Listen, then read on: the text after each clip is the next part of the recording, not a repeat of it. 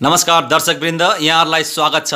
गत तिन महिना अगाडि सिप्लाटु कम्पनीले आफ्ना अस्थायी कर्मचारीहरूलाई कामबाट निष्कासित गरिएको थियो र उहाँहरूलाई कम्पनी पक्षले पुनः काममा बोलाएको छ र आउने महिनाको एक तारिकदेखि उहाँहरू पुनः काममा जोइन हुनुहुँदैछ र हामीसँग अस्ति निष्कासित गरिएका कर्मचारीहरू हामीसँग कुराकानी गर्नु हुनुहुन्छ र स्वागत छ तपाईँलाई।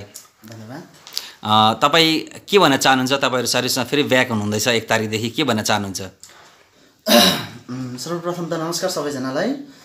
म के भन्न चाहन्छु भने म लगायत मेरो सबै साथीहरू गत तिन महिना अगाडिदेखि नै यसरी बसिरहेका छौँ।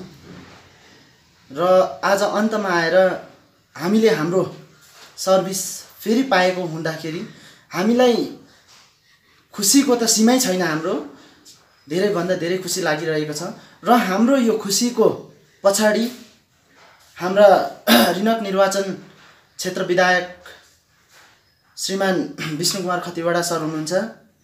यसरी नै लेबर फ्रन्टका समस्त कार्यकर्ता हुनुहुन्छ। र म के भन्न चाहन्छु भने विशेष गरेर जुन प्रयास जुन कोसिस हाम्रो क्षेत्र विधायक महोदय सरले गर्नुभयो हाम्रो लागि हाम्रो चुला जलाउनका लागि। उहाँलाई मरिमरि मरिमरि धन्यवाद दिन चाहन्छु। आज उहाँको अटुट प्रयास र अटुट कोसिसले गर्दाखेरि आज हामी फेरि आफ्नो कम्पनीमा आफ्नो सर्भिस पाएको छ आफ्नो घर चुला जलाउनुको लागि सक्षम बनेको छ र उहाँलाई धेरै धेरै धन्यवाद छ। र यसरी नै हाम्रा कम्पनीका म्यानेजमेन्टलाई पनि धेरै धेरै धन्यवाद छ। हामीलाई फेरि फिर्ता लिनुभएकोमा र यसरी नै लेबर फ्रन्टका सरहरूलाई पनि धेरै धेरै धन्यवाद छ।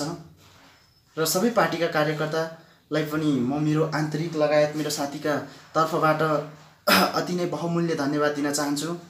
र यसरी नै हाम्रो घरबार गाँस बाँस कपासको फेरि प्रबन्ध मिलाइदिनु भएकोमा अटुट धन्यवाद हजुरलाई दिन चाहन्छु।